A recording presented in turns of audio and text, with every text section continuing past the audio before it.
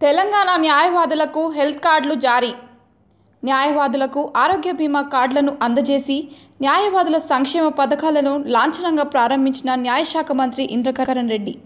తెలంగాణ న్యాయవాదులకు హెల్త్ కార్డులు ప్రమాద బీమాతో పాటు ఆర్థిక సహాయం ఇతర పథకాలను శుక్రవారం హైదరాబాద్లోని రవీంద్ర భారతిలో జరిగిన కార్యక్రమంలో న్యాయశాఖ మంత్రి అల్లుల ఇంద్రకరణ్ రెడ్డి ఎంపీబీ వినోద్ కుమార్ ప్రారంభించారు.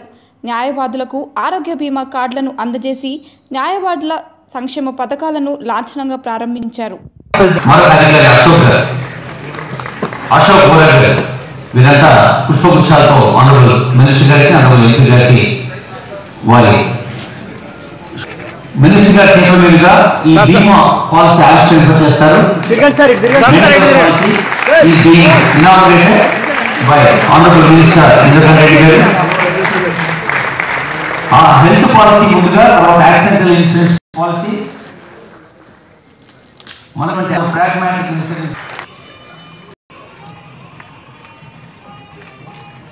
కోసం సంబంధం ఉందో తెలుసు.